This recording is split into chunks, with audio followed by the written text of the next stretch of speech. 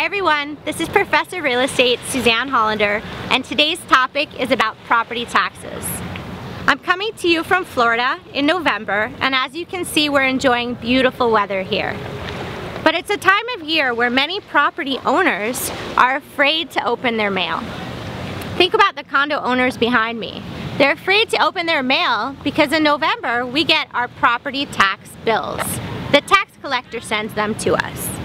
So I want to talk to you about some do's and don'ts for your property taxes. Your first do is pay them. If you don't pay your property taxes, you could lose your property. Your second do, pay them early.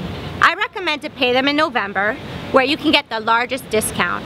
You can get 4% off your total property tax bill if you pay them in November. Let's talk about some don'ts. Don't pay somebody else's property taxes. Some people think it means you'll own their property, but you won't. You'll just be doing them a favor. Another don't. Don't forget to pay your property taxes. You might lose your property.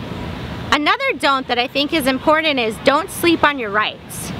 Many people don't appeal their property taxes, and they could, and they could reduce the amount of taxes that they pay.